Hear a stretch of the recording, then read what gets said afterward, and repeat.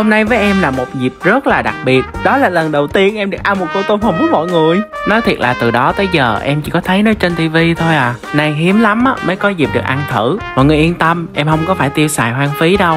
Nguyên nhân á, là do tháng vừa rồi em có đi làm thêm.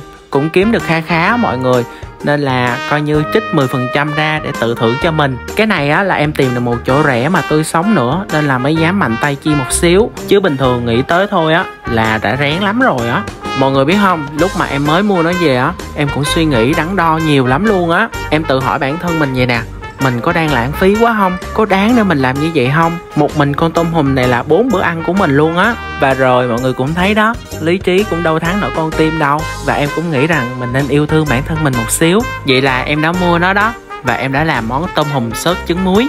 Hơi bị ngon luôn á. Cơ mà thịt nó có chút xíu à. Ăn cái này xong là phải đi lục cơm nguội ăn luôn á.